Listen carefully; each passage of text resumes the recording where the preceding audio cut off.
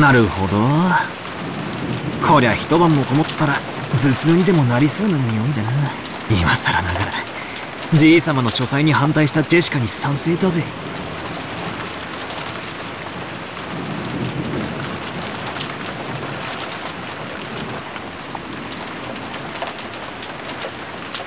おおすごいドア古くいかめしくて冗談の通じなさそうないかにもじい様の書斎にふさわしい扉だよな。霊的な悪意を退ける力がとても強く込められている。多分ベアトリーチェはこの扉を開けられないね。おそれどういうことだよ？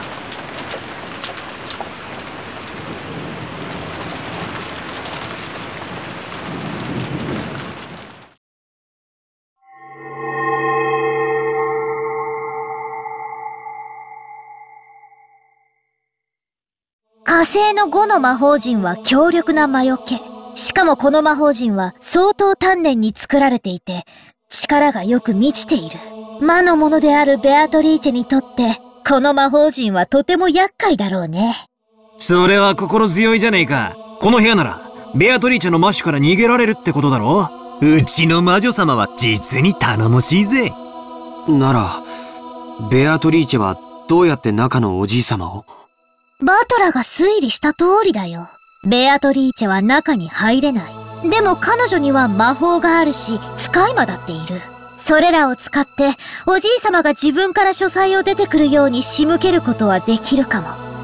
ああ漫画で読んだな吸血鬼は十字架が怖くて近づけねえけど使い魔たちはへっちゃらなんで使い魔に襲わせるみたいなシーンを読んだことがあるぜバトラたちに昨日あげたサソリのキーホルダーのようなお守りも、この火星の5の魔法陣だよ。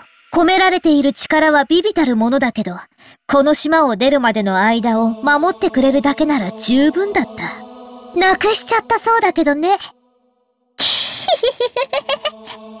サソリのキーホルダーのお守り？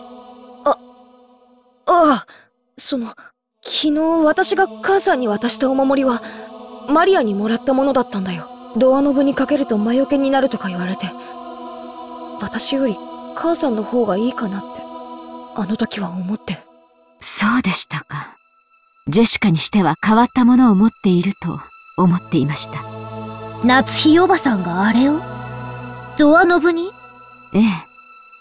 夕べそう聞き、寝る前に扉の内側のドアノブにかけました。なら、夏日おばさんはとても幸運だよ。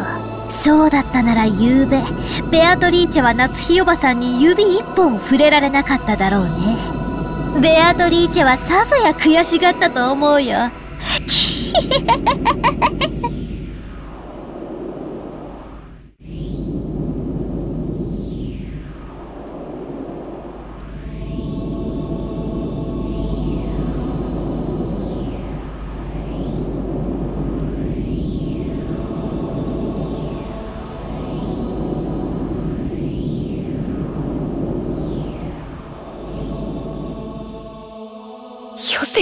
そういう話。魔女なんかいないぜ。いるのは犯人。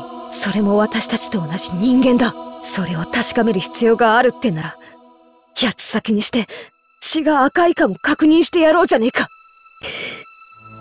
くそ。くそ。よくも、カノン君を。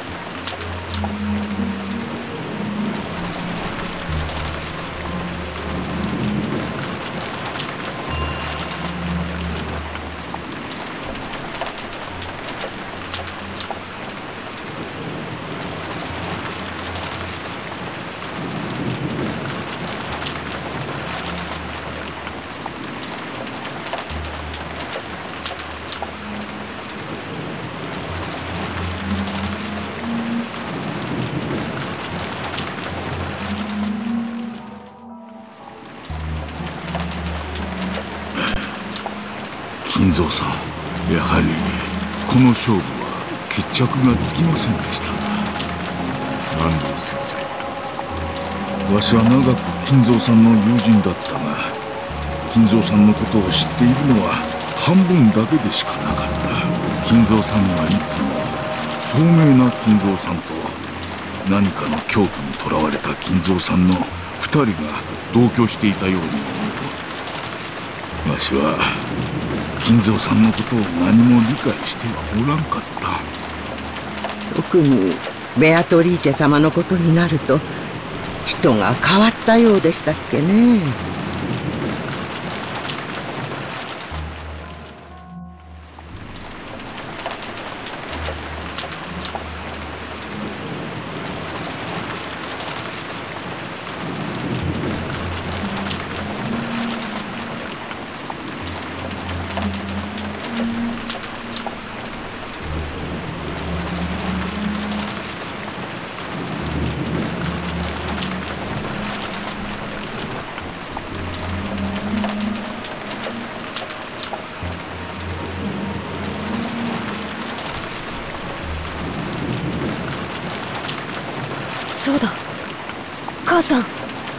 エヴァおばさんたちの部屋で犯人の手紙を拾ったんでしょう。ええ。まだ開けていませんでした。開けてみましょう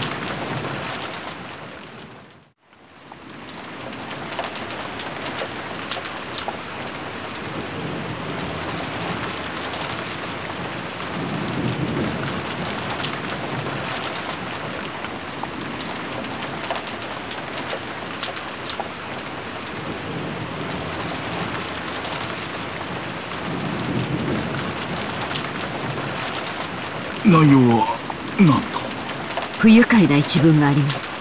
私たちを挑発するつもりなのでしょう。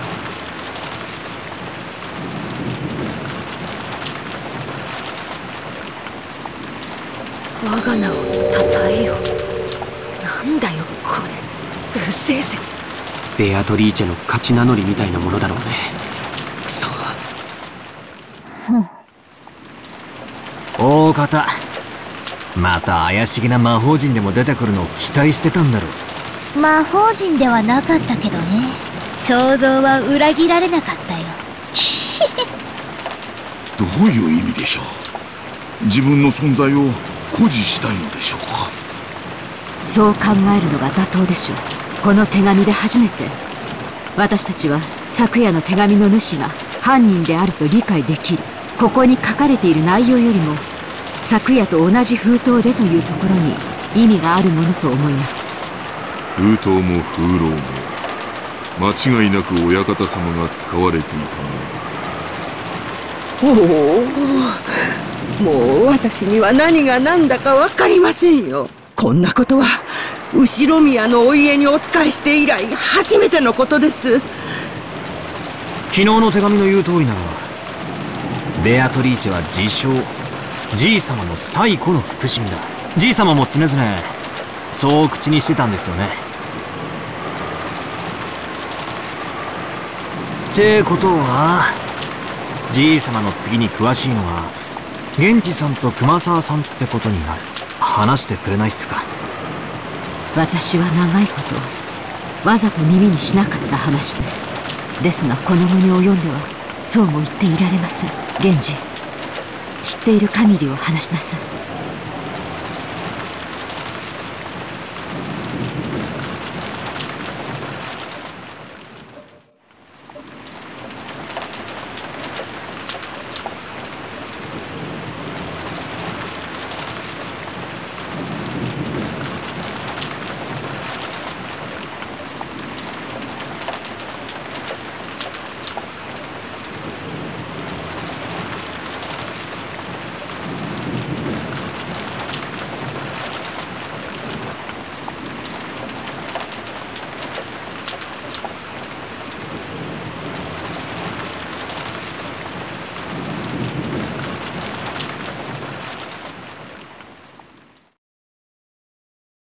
お父様の愛人ですか？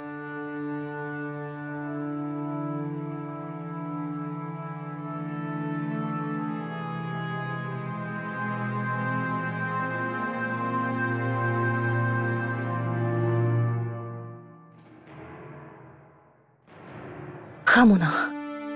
ばあ様は生きてた頃、よく疑ってたらしいぜ。浮気相手がいるってな。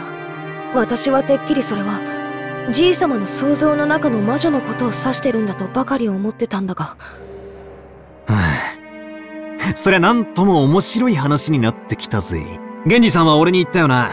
ベアトリーチェは、この屋敷ができる以前からじい様に仕えてたって。お屋敷が竣工したのは昭和27年と聞いています。ってことは、ベアトリーチェという人は30年以上も昔からおじい様と連れ添っていたということになるね。その30年前の愛人、もしくはその縁者や隠し子が何かの恨みがあって何らかの復讐を企んだ。か。なるほど。洋館ミステリーっぽい、ありがちなストーリーになってきたじゃねえか。汚らわしい話ですが、一番納得できる筋書きです。どうですか、源氏？おそらく、親方様に恋愛の感情は終わりになられたでしょう。亡くなられた奥様より、愛しておられたに違いありません。ベアトリーチェってのは何者なんだよそして今はどうしてるんだ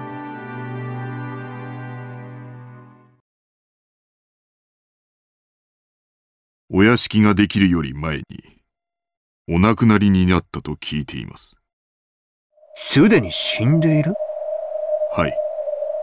親方様は大層深く悲しまれベアトリーチェ様をよみがえらせる方法として黒魔術に傾倒なさっていったのです。親方様はベアトリーチェ様を心の底から愛しておられたのです。このような狂気に駆り立てるほどに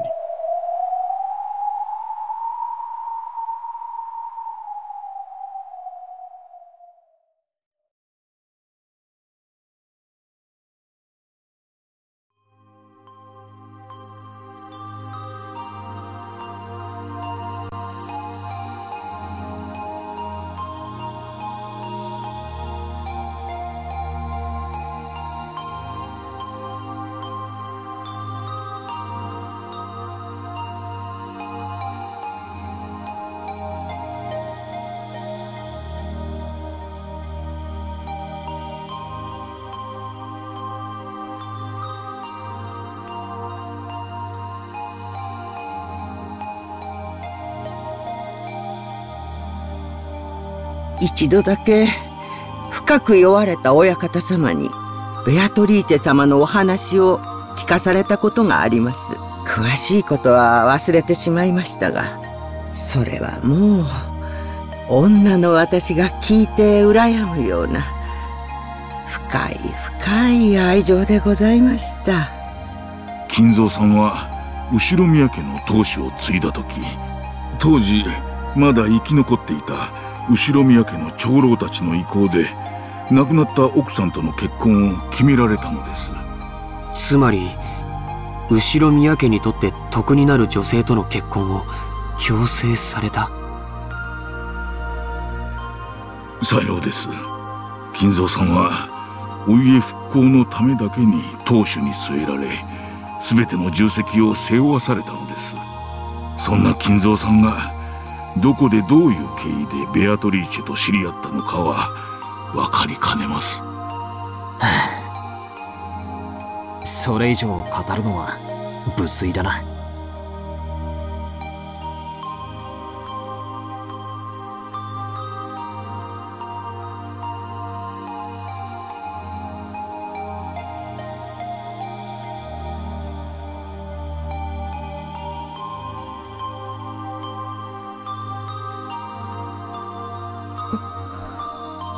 私誤解してたよ源氏さん。何をでしょうか？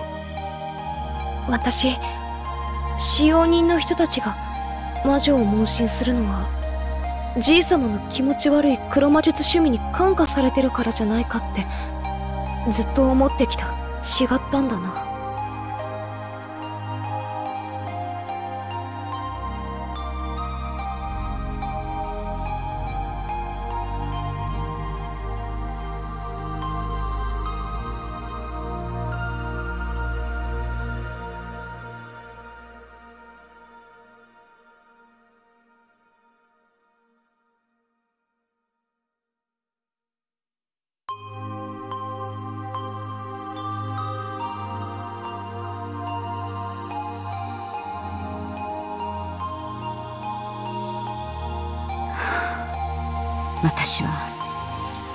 お父様の前で魔女を否定する話を何度か口にした覚えがあります。今ならそれがどれだけお父様を傷つけていたかわかります。今の僕にならわかるよ。シャノンを蘇らせる方法が黒魔術だというなら僕は今すぐにもこの部屋の次の主となって研究を始めるよ。兄貴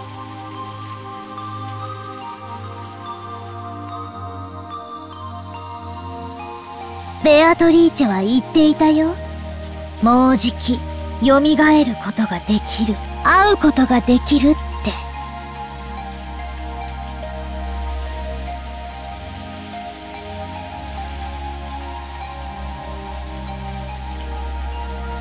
そう言ったのか。マリアに手紙を渡したベアトリーチェは。信じないよね。ここにじい様がいたならと喜んだろうな。もうじきベアトリーチェが蘇ることにさぞや踊り上がって喜んだろうな。なら俺は信じたぜ。じい様が半生をかけて研究したことで蘇り愛した女の魂が蘇ったと信じて寿命を全うできるって言うんなら俺も信じたぜ。バトロ一人の女性をずっと愛し続けた気持ちが周りにも伝わり真実となる。それを気遣いと呼べばそれまでだろうけれど今の僕はあえてそれを魔法と呼んであげたいね。気遣いじゃないよ。本当に魔法だよ。魔女だよ。やっぱり誰にもベアトリーチェの姿は見えないんだね。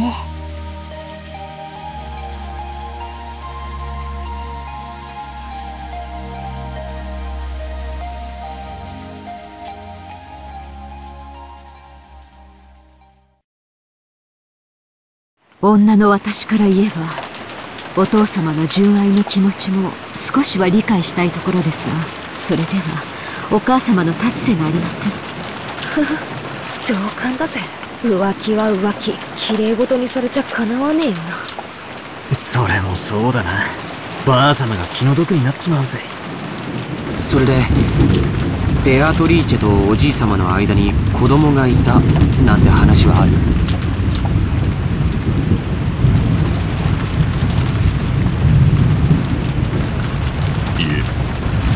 そのような話は聞いたことがありません。仮にいたとしたら最愛の人の忘れがたみとしてきっと全ての愛情を注ぎ込んだだろうね。それがなく黒魔術に没頭していったなら子供はいなかったと考えるべきなのかな。そういえばこんな噂を聞いたことがあるぜ。知ってるだろじい様が福音の家っていう福祉施設に莫大な援助をしてるって話。よしなさい。それはお父様を冒涜する抽象に過ぎません。教えてくれよ夏日おばさん。隠し事はなしなのはおばさんもだと思うっすよ。くだらない話です。お父様はその施設に莫大な援助をし社会勉強の一環として当家の使用人雇用枠を開放していました。それをお父様に汚らわしい趣味があると吹聴する愚か者がいたというだけの話です。一時期それが黒魔術の生贄にするためだみたいな噂になってさ。実際いつもこの部屋で怪しげな実験や儀式を繰り返してたわけで私も半分は信じてたところがあったぜ。その福音の家出身の使用人ってのは何人かいますが親族会議中のシフト。でシャノンとカノンの2人でした。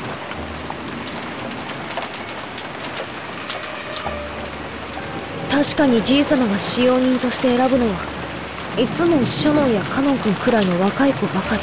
私だってじい様には妙な趣味があるに違いないって信じてたぜ。ジェシカ言葉を慎みなさい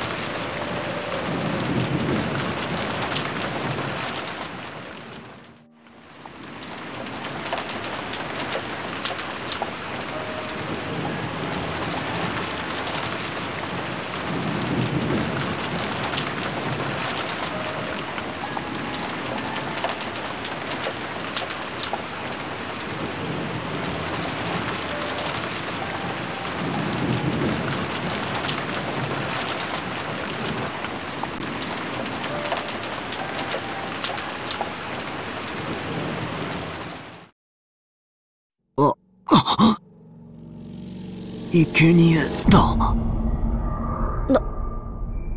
なんだよパトラ急に気持ち悪いこと言うなよ生贄を6人ああああああああ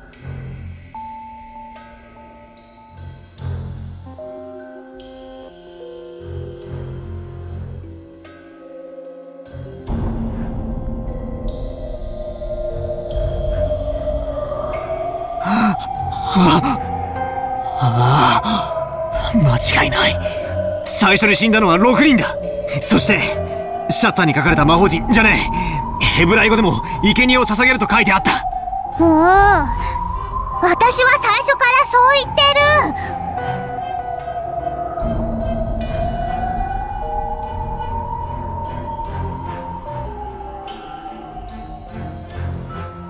これは黄金の隠し場所なんかじゃねえ黒魔術か何かの復活の儀式の手順なんだ。確かこの碑文には大勢の死が必要になるはず。確かにざっと読むだけでも6たす2たす5で13人は死ななくちゃならないことになってるぜ。普段はこの島には何人いるんですか？使用人のシフトにもよるでしょうがお父様夫に私にジェシカそして使用人が23人昨日今日は5人いてもらってますが普段はそこまでいません。ってことはだこの儀式を実行しようとしたら普段じゃ生贄が足らないってわけだ。いや違うぜ。じいさまは福音の家から不気味な儀式の生贄にするために使用人を取ったという噂。つまりなんだよ。生贄の人数を増やすために使用人を増やしさらに人数が集まる年に一度の親族会議をこの儀式を執り行える年にたった一度唯一のタイミングだったってことじゃねえか。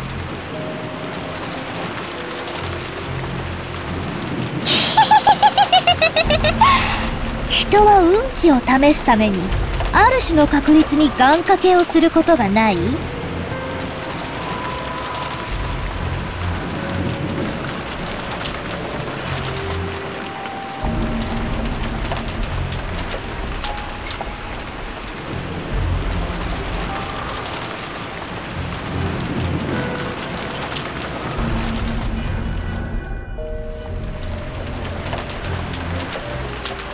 魔術にもそういう考えはあるんだよ。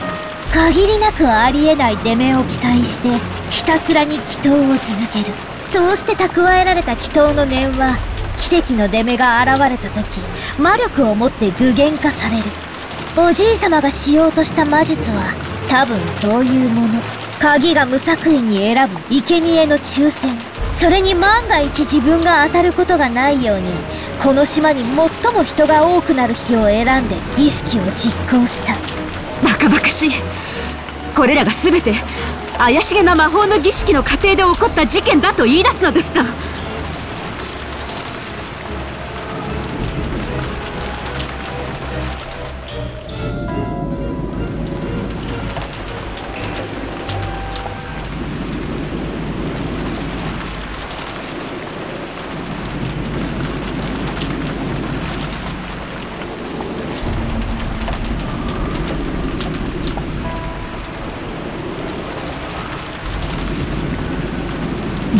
夏日さん確かに碑文の内容はその後をなぞっとるだ第二の晩に残されし者は寄り添う二人を引き裂けこれはエヴァ様たちのことを指しているのでしょうか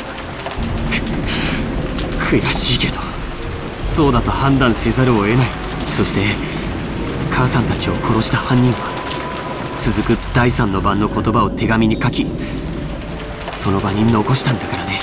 そそうだな。第二の番を実行し第三の番をその場に残した。第三の番はまさにさっき夏代おばさんが読んだ通りだぜ。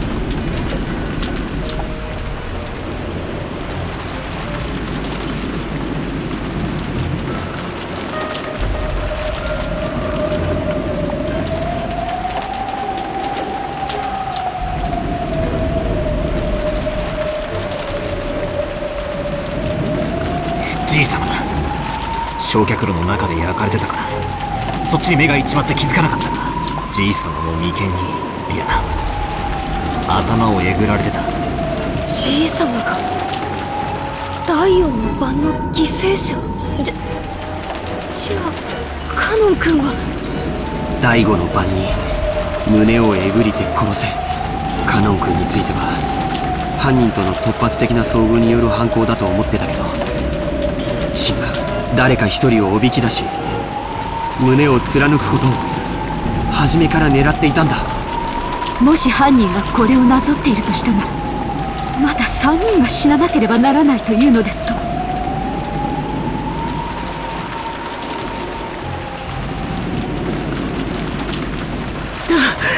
確かにそう読み取れますけど。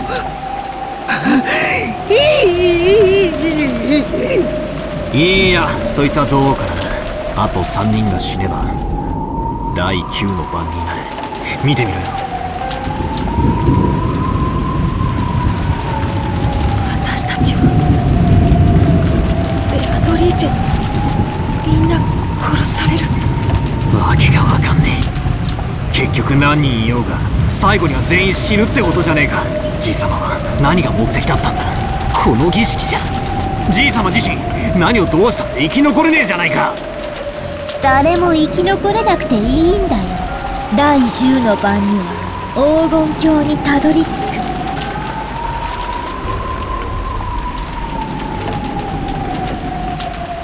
おじい様は死を恐れてなんかいなかったんだよ。ほら4つの宝の2番と3番を見てごらんよ。一つは全ての死者の魂をよみがえらせ一つは失った愛すらもよみがえらせつまりおじい様は自分がこの儀式の途中で死んでしまってもやがては復活できると信じてた。バカバカしいぜ！妄言だぜ！死んだらそれまでだろ！死者は生き返らない！人類が何千年もかけて追い求め結局は未だに成し遂げられない奇跡だぜ！つまりこういうことだろ。死後の世界で再会できて蘇ることができるとかそういう類だろ。ジェシカの言い分通りだとするならこいつはつまり追い先短いじい様が恋に狂っての自殺まがい。いや壮大な無理心中ってことなのか。天智その可能性は考えられるのですか？わかりません。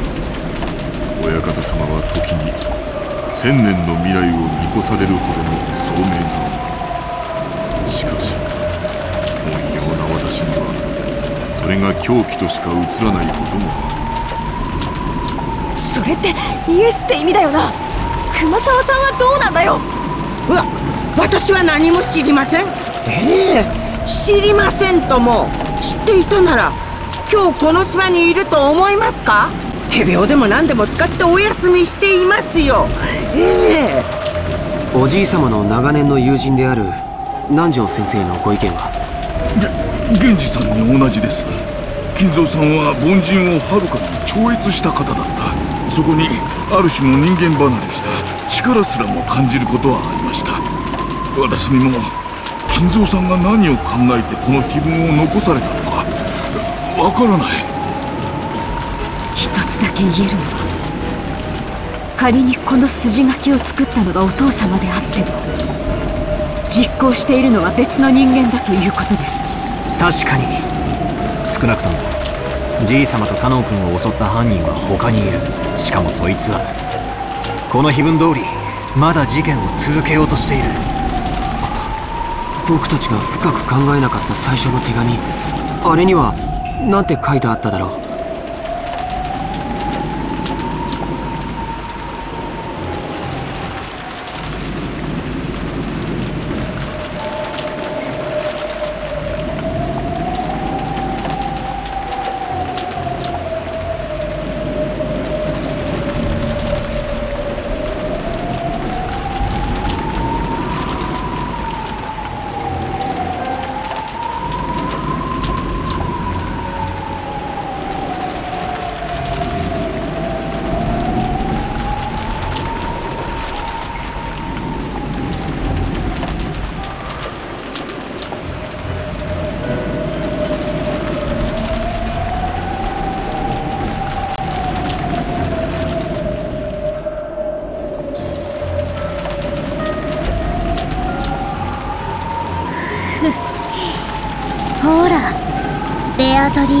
また手紙だよ。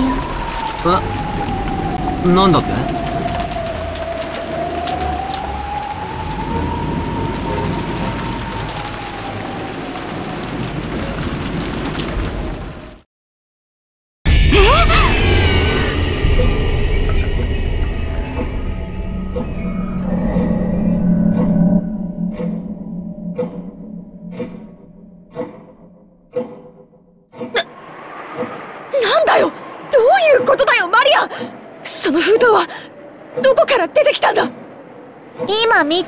いてあった。うん。わ私は何も知りませんよ。何も。冗談じゃねえ。ここには俺たち8人しかいねえんだぞ。9人目がこっそり忍び込んでいたなんてこともあるわけがねえ。俺たちがちょいと肖像画の前に集まっていたわずかの隙しかないんだぞ。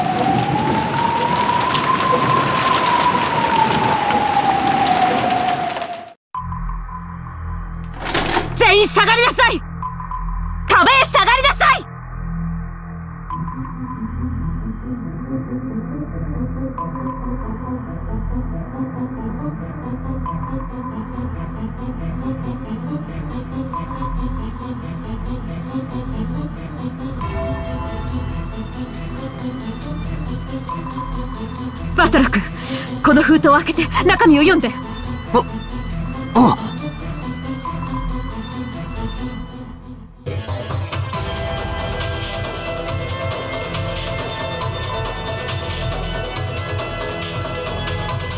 金蔵様の碑文の謎をお楽しみいただいているでしょうか。すでにご存知と思いますが皆様方には時間が多くは残されてはおりませんどうか嵐が過ぎ去れば逃げ出すことができるという甘えをお捨てくださいませ。このゲームには私と皆様方のどちらが勝つかの結果しかない。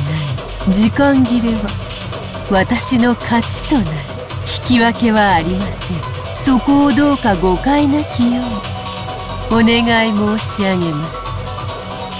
って内容だぜ。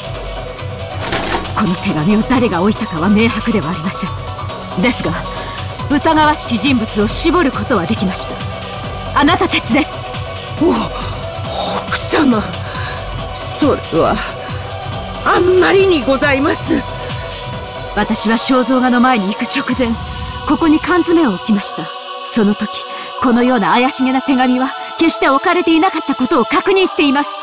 そしてその時すでにジェシカとジョージ君バトラ君は肖像画の前に行った。そして彼らはこの手紙が現れるまで肖像画の前を離れていない。つまりあなたたち4人の中にその手紙を置いた人物がいる。ベアトリーチェがいる。おおベアトリーチェはマリアたちじゃない。ベアトリーチェはいるお黙りなさい。あなたたちの中の一人が疑わしいのか全員が疑わしいのか分かりません。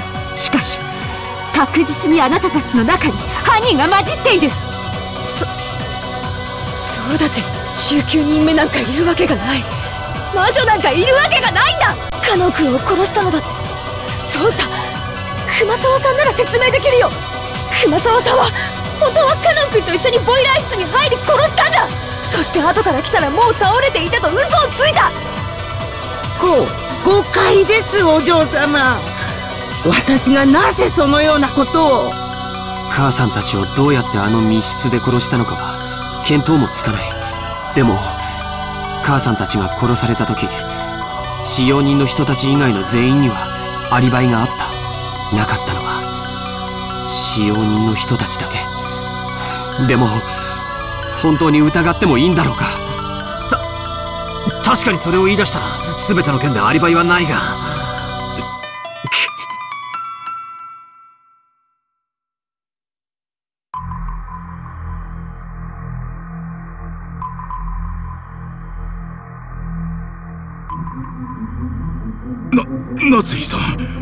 どうか落ち着きなさい。今日一日いろいろなことがあった。心が参っているのはよくわかります。南條先生をお疑い申し上げるのは非常に心苦しいです。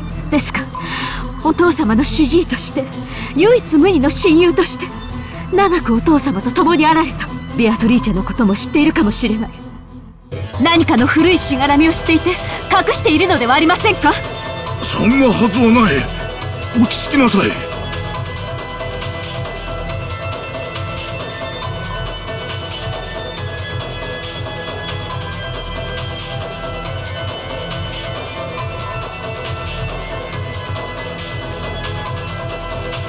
源氏。あなたはお父様の一番の部下です。ベアトリーチェとはあなたがお父様に見せた幻想であなたこそがその実行者だったのではないのですか？そうお疑いいただけるのは奥様が私を親方様の一番のしもべだとお認めいただけたということこのような場ではありますがとても名誉なことだと存じます。しかしこの手紙を置いたのは私ではありません。それを私が鵜呑みにできると思いますか？お前が首謀者に決まっています。あるいは熊沢も南條先生もその共犯かもしれない。マリアちゃんもです。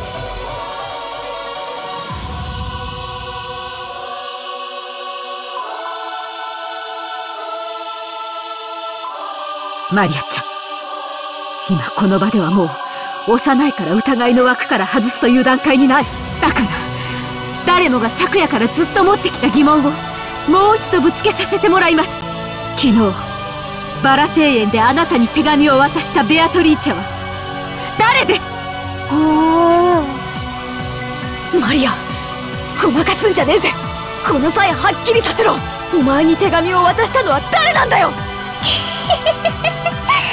だから何度も言ってるよ。ベアトリーチェだよ。千年を生きる黄金の魔女なんだよ。姿を知りたければ後ろを振り返ればいいほらそこにいるよベアトリーチェが。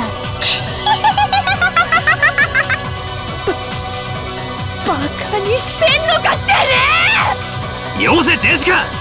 マリアもよせ状況が分かってんのか。そんなこと言って何になるってんだ。無意味な挑発はよしやがらってんだ。マリアには分かんないよ。モトラたちは誰が犯人ならいいの？自分たちの中に犯人がいると信じたくない時だけベアトリーチェを信じて親しい人を殺された恨みを晴らしたい時だけ暴力をぶつけられる人間の犯人を信じたがってベアトリーチェを否定する。だから見えないんだよ。ベアトリーチェはいる。お前たちには見えない。黙りなさい。あなたが犯人だと決めつけたくはありませんが、この状況を不愉快にさせて楽しんでいる利的行為者であることは、もはや疑いの余地もありません。ならどうするの？マリアを撃つ？別にいいよ。もうすぐ黄金鏡の扉が開かれる。そして全ての死者が蘇る。今や死は恐れるべきことではないんだよ。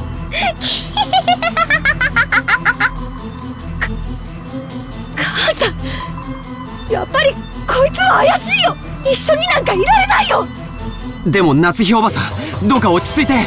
マリアちゃんを撃つ理由は何もない。どうか冷静に。手紙は挑発するけど何も恐れることはない。犯人だって明日が怖いんだ。警察が怖いんだ。この島は今無秩序に支配されているけれどそれは台風で隔離されているからだけに過ぎない。台風が過ぎれば秩序が戻ってくる。だからおばさん撃っちゃいけない。なんでジョージ兄さんはそんなにも冷静なんだよ。この4人の中に犯人がいる。いやあるいは4人が全員来るかもしれない。この中にエヴァおばさんたちを殺した犯人がいるかもしれないってのになんでそんなに冷静なんだよ。僕だって犯人を見つけて殺してやりたい気持ちはあるさ。でもそれは単なる蛮行だ。僕は罪の裁きを秩序に任せるどんなに疑わしくても引き金を引いてはいけないんだ。ジョジョージの兄貴に同じだ。夏日おばさんここはちょいと冷静になろうぜ。とにかく撃つのはまずいぜ。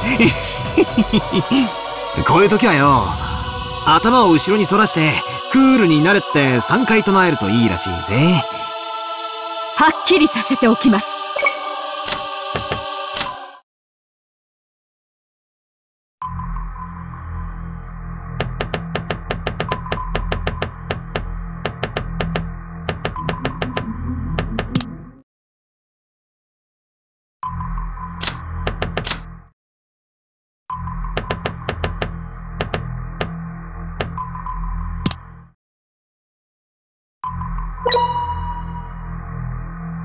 魔女などいない。ここは六軒島で。ここは後宮家の本家屋敷です。後宮家代表後宮夏日として宣言します。ここには魔女などいない。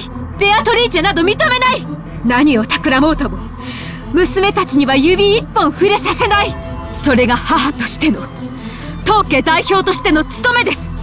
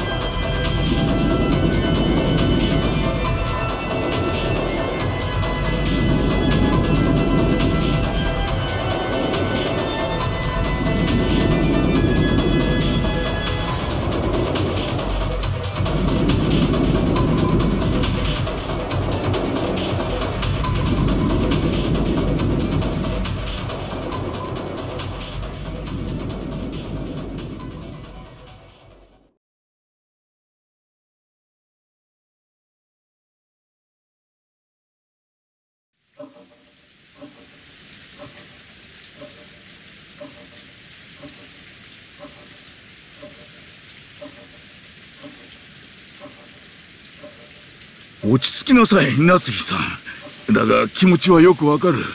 わしだって今朝からの異常な事件続きで頭がどうかなってしまいそうだ。だからわしらを疑いたい気持ちもよくわかる。もし本当に南條先生が無関係なら私は無礼極まりないことをしているのだと思います。ですが今だけは分かってください分かったわしらは部屋を出ましょう。どうですかな源氏さん。客間に戻ってチェスの続きといきませんかな。それをお望みでしたらぜひ。わ私は嫌ですよ。だってこの中に狼がいると分かってて部屋から追い出されてしまうんですよ。嫌ですよ奥様。どうかお許しください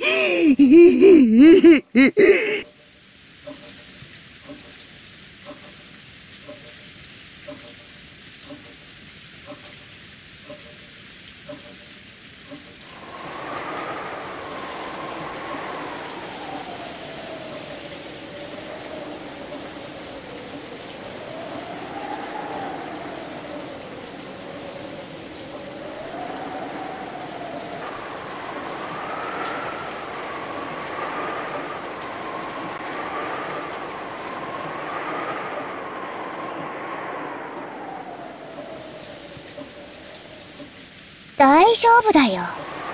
ベアトリーチェは敬う人には優しいから、熊沢さんはベアトリーチェがいるって信じてるもん。だからきっと大丈夫だよ。マリアは客までテレビを見るよ。一緒に見ようよ。ここ。テレビがなくてつまんないもん。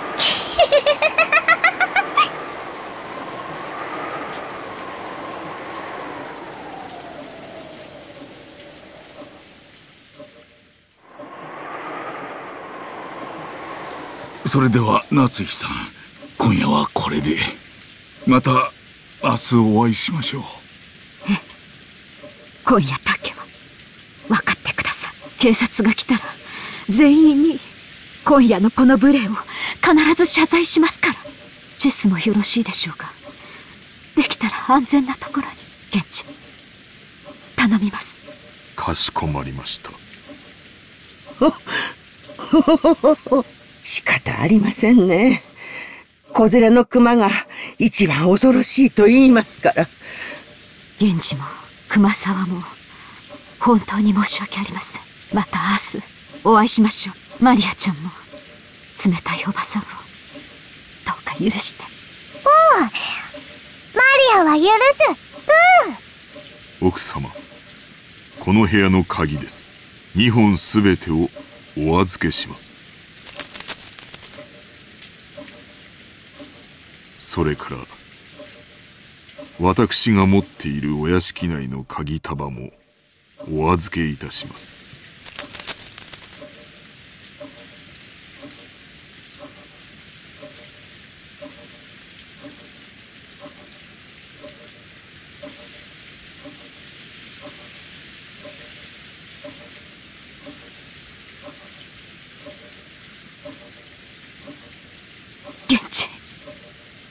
私はお前をお父様がお亡くなりになったら長年の苦労をねぎらって退職を許すつもりでいました。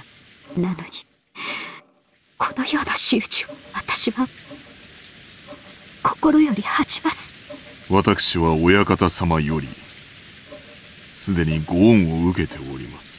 今日までの日々はそれに対するご恩返しの日々であっただけです。どうかお気にやまれませんよ。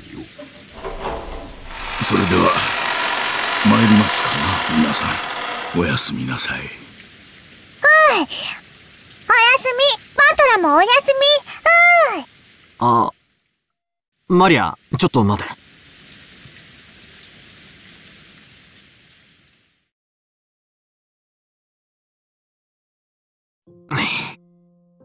これ魔除けなんだろ身につけとけ。おおバトラ、確か落としてなくしたって。あん時は、なんか尺になって、なくしたとかほら吹いただけだ。お前の大切なお守りを、なくすわけねえだろ。お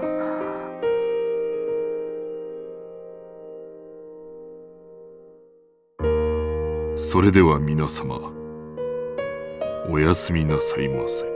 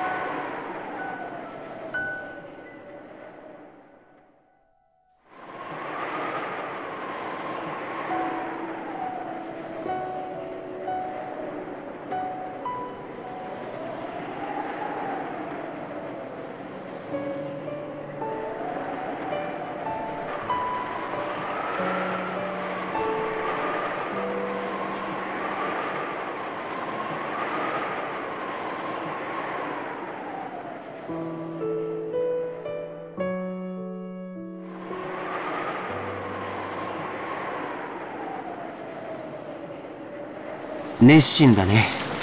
何か手がかりになるようなことは見つけられたかい？さっぱりさ。そもそも。日本語で書かれた本を探すことからして骨だぜ。じい様は一体。何カ国語を読めたってんだ。大したもんだぜ。バトラ君は眠くないの？誰かが起きていてくれてるうちに。休んだ方がいいよ。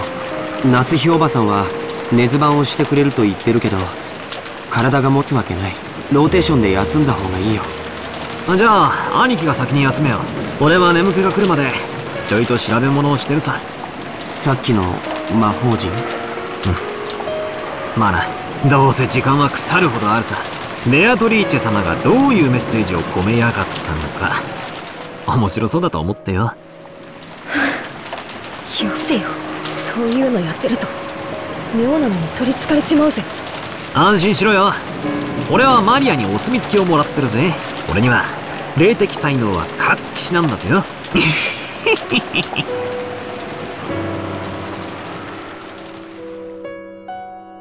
マリアのこと邪険にしすぎたかな。ジェシカ今はそれを考えてはなりません。でも母さんもしもマリアが無関係で犯人が他にいたなら犯人は襲いやすい相手を狙うに決まってる。それで殺されたなら、私たちは、見殺しにしたことになるよ。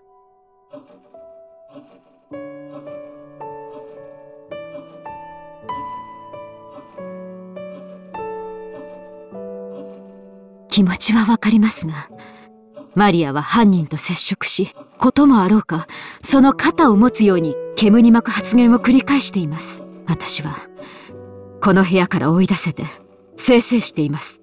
ええー、夏日おばさんって結構きついっすね。9歳の女の子のザレ言かもしれないじゃないっすか。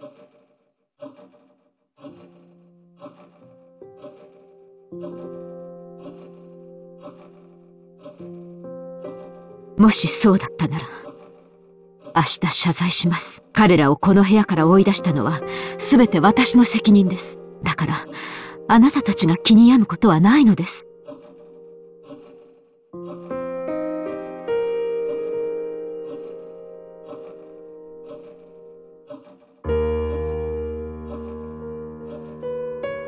なんでマリアってあんなことばかり言うんだよ自分で自分の首を絞めてるぜもともとマリアちゃんが魔女や魔法に傾倒するようになったのは僕はローザおばさんのせいじゃないかと思ってる。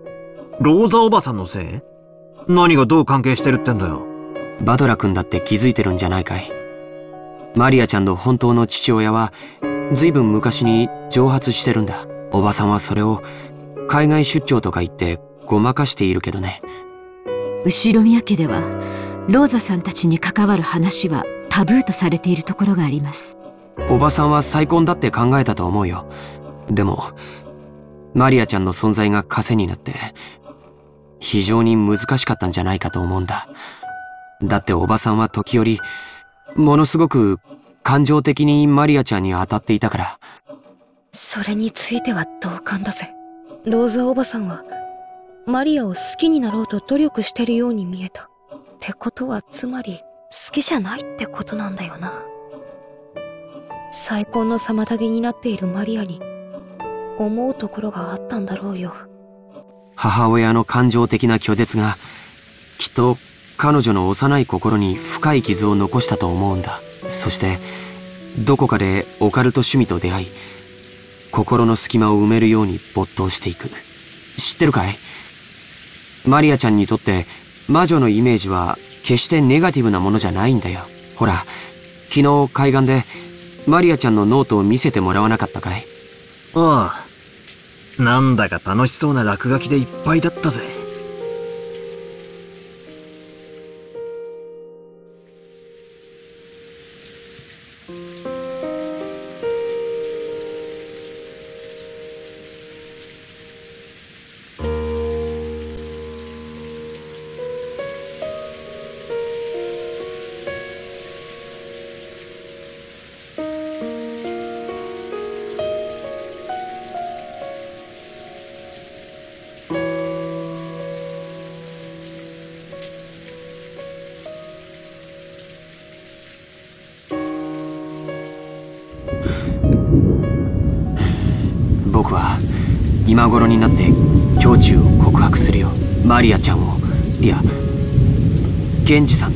い出したのは多分いけないことだったんじゃないかな。気まずくはあるぜ。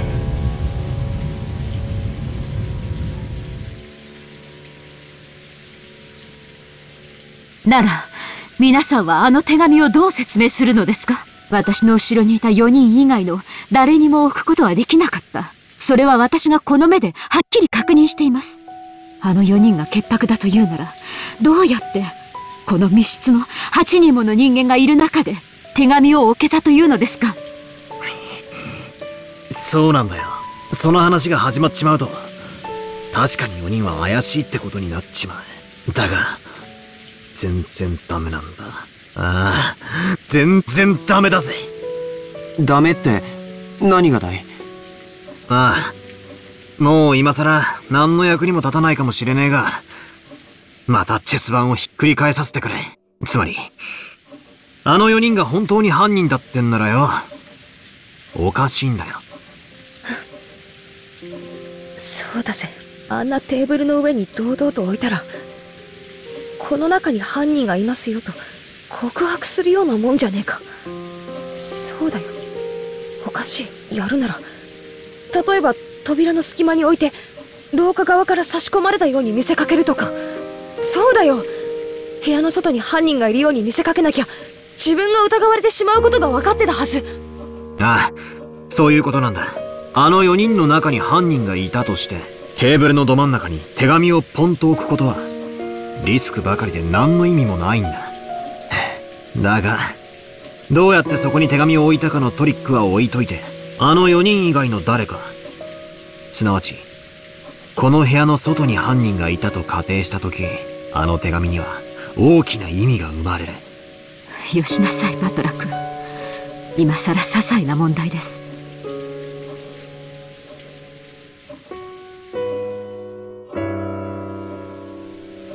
この部屋の外に犯人がいて、俺たちが外からは手出しをできない密室に立てこもっちまったらお手上げだ。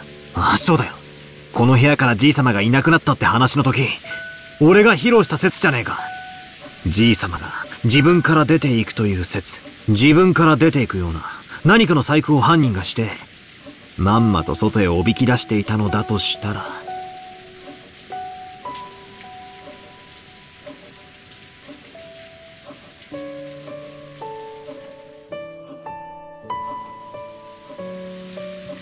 だとすると私たちは犯人の罠に見事ハマって新しい生贄候補を送り出しちまったことになるぜ。源氏たちもバカではありません。身を守ろうと思うならこの部屋の次に安全な場所をすぐに思いつくでしょう。そこできっと身を潜めています。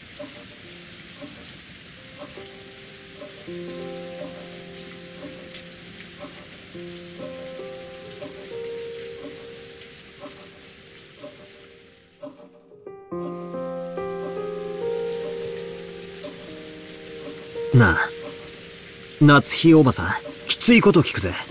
もしあの時たまたまジェシカもおばさんの後ろにいたならおばさんはこの部屋からジェシカも追い出してたかい？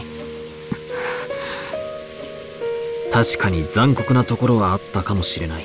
でも夏日おばさんは母として娘を守りきろうと思った。その責務から自分がやがては糾弾されることを覚悟で彼らを追放したんだ。俺は別にそれを責めてえわけじゃねえ。ただそのジェシカはいいお袋を持ったなってそう思ったのさ。そうだね。夏日おばさんは朝からずっと続いているこんな事件の中でも冷静さを失わずずっとみんなを牽引してきてくれた。もしおばさんまで混乱していたら僕たちは今頃全員犯人の手にかかっていたかもしれない。だから僕たちはおばさんに感謝しなくちゃいけないと思う。ありがとう。バトラたちの言いたいことはつまりこういうことだろマリアの母でもあってほしいって。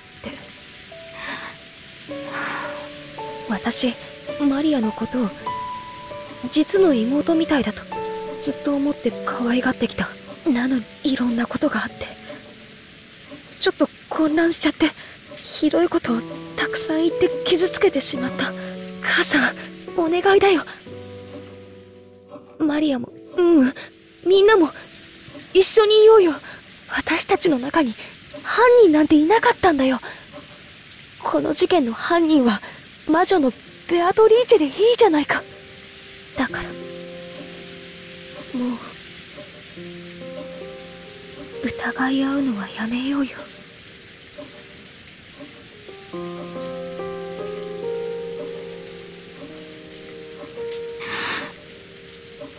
ジェシカは主人と結婚してから12年もかけてようやく授かった。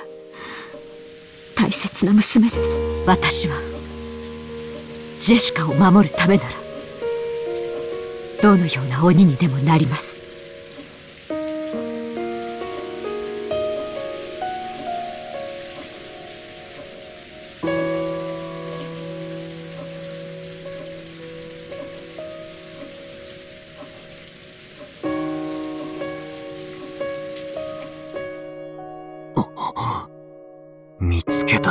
この魔法陣だ。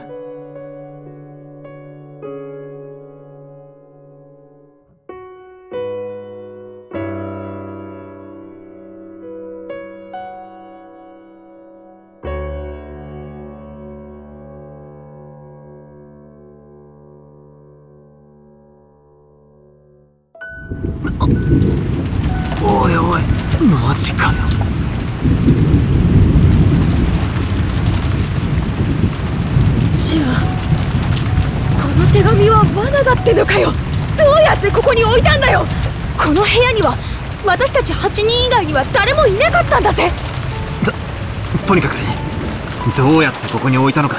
その方法は捨ておくぜ。とにかく犯人の狙いはたった一つ。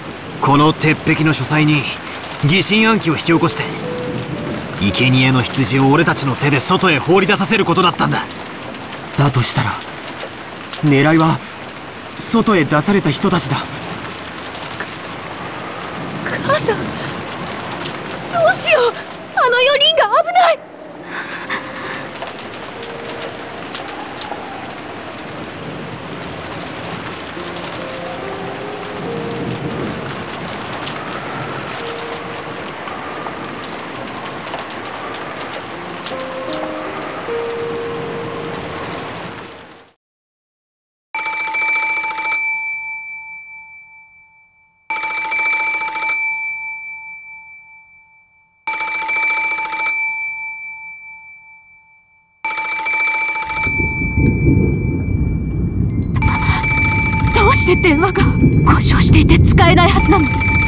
そんなことは関係ねえさ。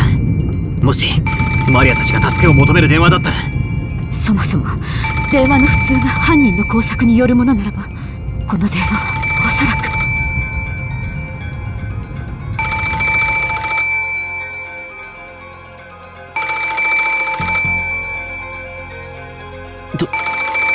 トロおばさん何かの理由で電話が回復したのかも。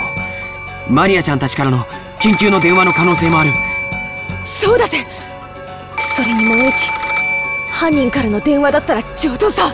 話を聞いてやろうじゃねえか。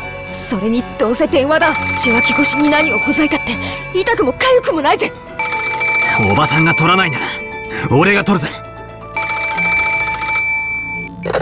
私が取ります。もしもし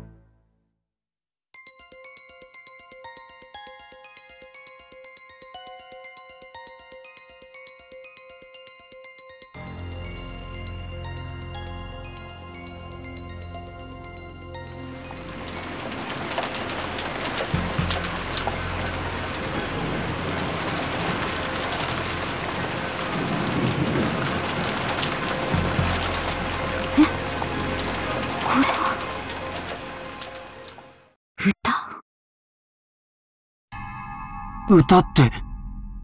何ですかおばさん？わかりません。電話の向こうでかすかに。誰かが歌っているのが聞こえます。何のことやら。ちょっと受話器を借りますぜ。もしもし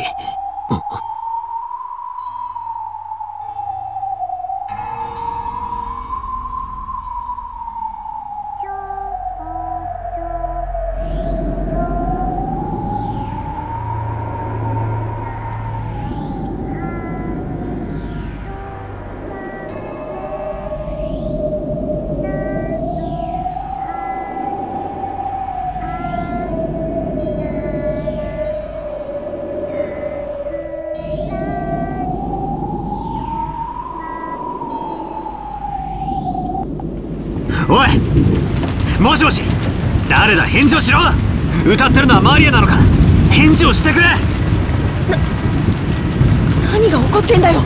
どういうことだ。わからねえ。一つ言えることは多分。これは罠で。そしてマリアが危険だってことだけだ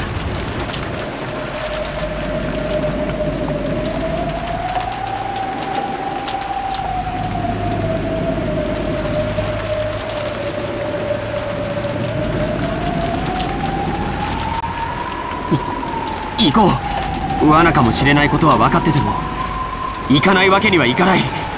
ああまったくだぜ。ジェシカと夏井おばさんはここにいてくれ。お待ちなさい。あなたたちだけに行かせるわけにはいきません。私も行きます。ジェシカはここで待ちなさい。私だけのけ者かよ。冗談じゃない。私も行くぜ。そうだな。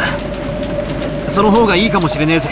電話が俺たちをさらに分散させる狙いがあるってんなら留守番を残すのは適当じゃねえ。議論する暇も惜しい。みんなで行こう。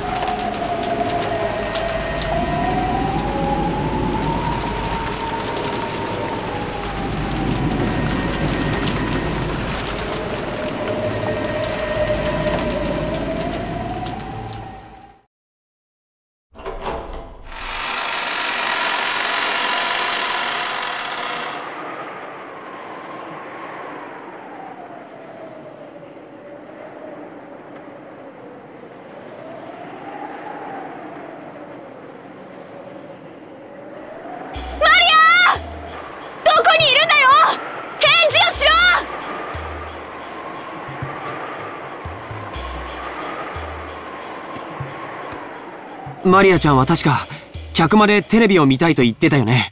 開花に降りてみよう。そうですね。行ってみましょう。みんなは周りに用心して。おい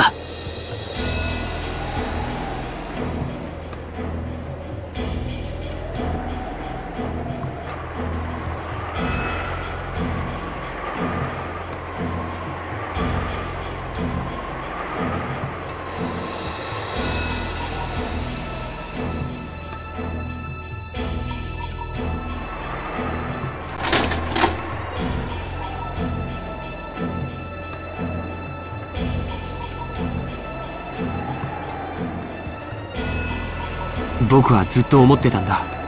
カノン君のように胸にあのアイスピックを突き刺すことは不可能ではないと思う。でも母さんたちのように頭蓋骨を打ち抜いて眉間に突き立てるなんて簡単なことじゃないと思うんだ。